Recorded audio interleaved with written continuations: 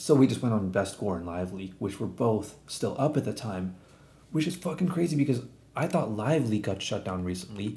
Turns out Bestgore also got shut down recently. Look at this. Defunct since November 15th, 2020. That's recent, bro. I had no idea.